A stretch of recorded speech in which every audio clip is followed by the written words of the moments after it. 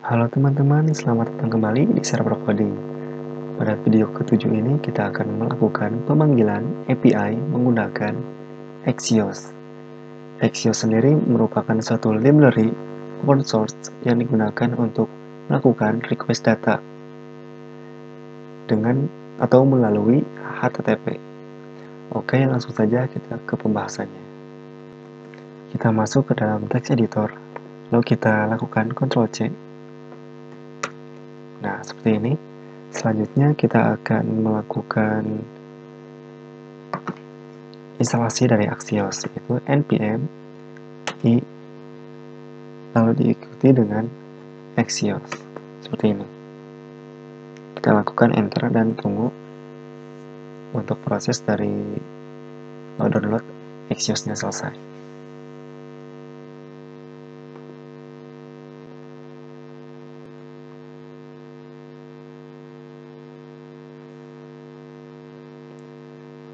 Oke, untuk tahap instalasi dari atau download dari Axios ini sudah selesai ya. Nah, jika sudah selesai, selanjutnya kita akan membuat suatu folder dengan nama uh, eh, API ya. Oke, kita rapikan terlebih dahulu. Nah, di sini kita akan membuat suatu folder baru yaitu API dan di dalamnya kita akan buat file axios.py ts nah seperti ini. Dan selanjutnya kita akan lakukan import. Axios. Import Axios from Axios. Nah seperti ini. Selanjutnya kita akan buat const instant. Diikuti dengan Axios script lalu di sini kita akan sertakan URL dari URL API yang akan kita gunakan. Nah kita coba cek. Nah di sini terdapat API nah kita masih menggunakan yang lokal ya. Jadi menggunakan uh, 127 ini. Kita bisa masukkan dalam base URL. Nah, kita hapus mahasiswanya, karena nantinya ini akan digunakan untuk edit, hapus, dan juga yang lainnya. Oke, seperti ini. Selanjutnya kita akan tambahkan header.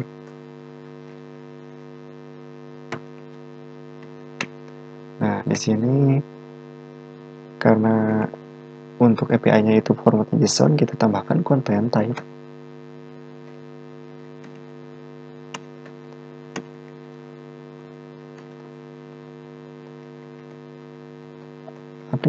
Application. This one. Nah seperti ini. Oke. Kita tambahkan. Seperti biasa export default. Lalu kita panggil nama fungsinya. Nah kita save. Oke selanjutnya kita akan membuat satu file. Mahasiswa TS. Nah, di sini kita akan melakukan suatu pemanggilan nah dari uh, endpoint ini ya, yaitu mahasiswa, mahasiswa ID, create, update, dan juga delete. Nah, di mana untuk file yang akan kita buat akan difungsikan sebagai uh, controllernya ya. Jadi hampir sama seperti skema di dalam Laravel. Nah, untuk caranya kita buat Axios. Nah, di sini from untuk fromnya sendiri kita tambahkan titik slash ya. Nah, seperti ini. Lalu selanjutnya kita akan buat export cons. Yang pertama kita buat yaitu kita akan get data ya, get mahasiswa. Mahasiswa Nah, seperti ini selanjutnya kita akan return. Return Axios. Nah get karena jika kita lihat di sini di API nah ini menggunakan metode get ya untuk uh, menampilkan data. Nah kita get. Selanjutnya di sini kita panggil nih mahasiswa. Kita bisa copy supaya lebih sesuai ya nah di sini kita pastikan. Oke selanjutnya kita juga akan buat untuk mengakses uh, eh, ID ya cons nah seperti ini. Selanjutnya get get mahasiswa by ID ya.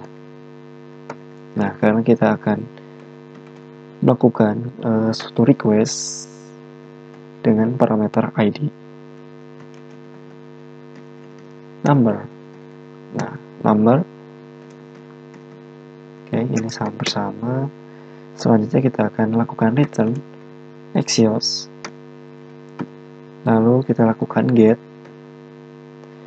Nah, coba kita cek. Kita bisa copy saja bagian sini. Selanjutnya kita pastikan. Nah, yang harus kita perhatikan yaitu ketika kita melakukan atau memanggil suatu parameter kita diharuskan untuk menggunakan backtick. Ya teman-teman kan di ini kutip satu. Nah ini backtick. Kita pastikan. Nah di dalam ID tersebut kita ganti dengan dolar ID nah seperti ini. Ini backtick ya harus diingat. Nah selanjutnya kita akan buat untuk uh, melakukan create data nih. Export. Is export. Nah. Export. Cons. Lalu create. Mahasiswa oke okay. Selanjutnya kita akan tambahkan parameter data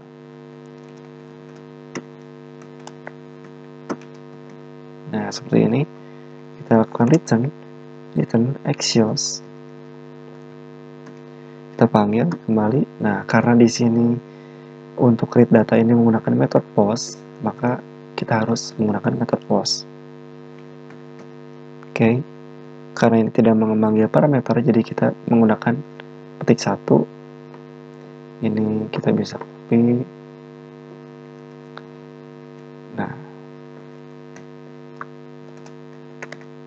Nah, kita tambahkan data. Nah, petik satu itu digunakan ketika kita mengambil ID ya, parameter ID. Nah, karena create itu pastinya tidak menggunakan parameter dari ID.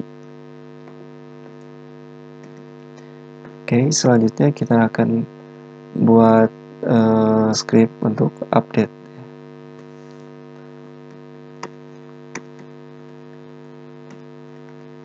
Export. Cons. Nah kita kasih dengan update mahasiswa saja. Nah seperti ini. Nah ini menggunakan ID nih karena kita akan mengupdate suatu data yang tentunya kita harus memilih dulu nih data yang akan diupdate nya maka digunakan ID nah kita tambahkan juga parameter yang lainnya yaitu data Nah, selanjutnya kita lakukan return return Axios. Oke, kita coba cek metode yang dipakai. Nah, di sini menggunakan metode post ya. Axios uh, diikuti dengan metode post. Karena ini menggunakan ID, maka kita uh, menggunakan backtick. Kita copy kembali, kita pastikan dan selanjutnya kita akan ubah nih untuk ID jadi seperti ini ID dan ditambahkan parameter data oke okay. Yang terakhir kita akan buat untuk bagian delete cons delete mahasiswa. Oke seperti ini. Nah, mahasiswa ini tentunya memerlukan ID. ID, number. seperti ini. Kita lakukan return. Axios di mana ini metode yang digunakan yaitu delete titik delete nah seperti ini. Lalu kita gunakan backtick karena ini e, memerlukan ID ya. Backtick seperti biasa kita ganti ID-nya jadi seperti ini. Oke okay, kita save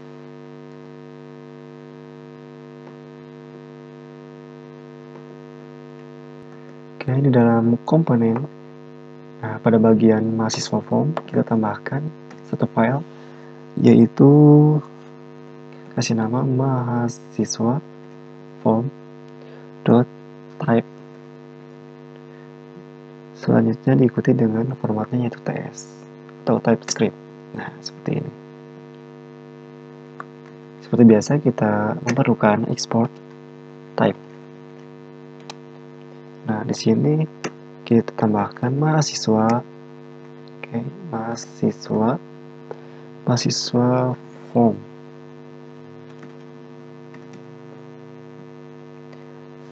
Yang berisikan nama dengan tipe data string name ya selanjutnya avatar. Tipe data string juga. Nah, seperti ini kita save kita tambahkan ya type. Selanjutnya di dalam mahasiswa table kita juga akan membuat file baru. Kita beri nama uh, mahasiswa table. Type ts nah seperti ini. Oke di dalamnya seperti biasa kita panggil export type nah di sini kita buat mahasiswa nah formnya kita ganti menjadi table table type nah di dalamnya terdapat ID, number, lalu name, dengan tipe data string. Ini kita tambahkan koma. Selanjutnya kita tambahkan avatar dengan tipe data string. Nah, kita save. Selanjutnya kita lakukan perubahan di dalam uh, mahasiswa TS. Nah, di dalam data nih, parameter data ini untuk endingnya kita ganti. Kita akan panggil mahasiswa form type.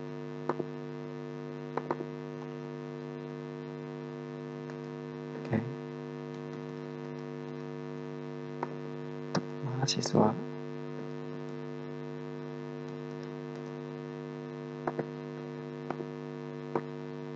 Coba kita tulis manual. Mahasiswa form type. Nah sudah terpanggil. Mahasiswa form type. Nah seperti ini. Kita save.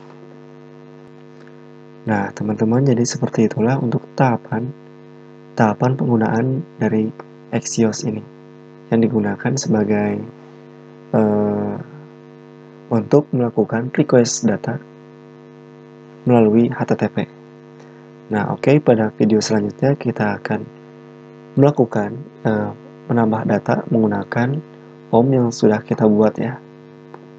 Nah, sudah kita buat dan kita juga akan menambahkan suatu validator dalam image dengan menggunakan Toastify yang sudah kita install sebelumnya. Oke, teman-teman jika menyukai video ini bisa like dan subscribe untuk mendapatkan informasi terbaru mengenai uh, tutorial dan teknologi terbaru. Oke, mungkin sekian dalam video ini. Terima kasih telah menonton. Assalamualaikum warahmatullahi wabarakatuh.